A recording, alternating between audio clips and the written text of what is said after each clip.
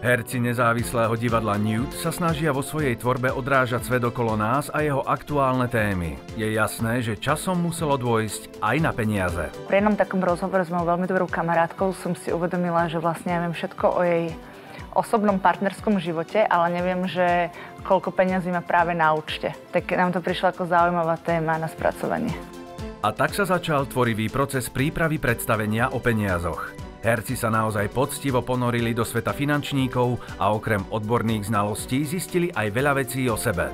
Konečne sme otvorili aj medzi nami tú tému a, a sme si tak povedali, že ako teraz žijeme, že koľko máme peniazy, že či tie kavičky a drahé večere vykrývame vôbec, alebo sa iba, neviem, tvárime. Lídia Ondrušová, ktorá okrem divadla účinkovala aj v seriáli RTVS Pumpa priznáva, že sa o svoje peniaze snaží starať. Ja mám hlavu o, troška v oblakoch a nemám tu takú stabilitu, aj čo sa týka možno príjmu a čo sa týka aj hospodárenia s peniazmi, tak uh, ja som jednoducho ten typ, ktorý iba proste povie, že čo má a čo potrebuje a verí, že niekto, kto je schopný tej práce, kto sa do toho vyzná, tak mu správne poradí.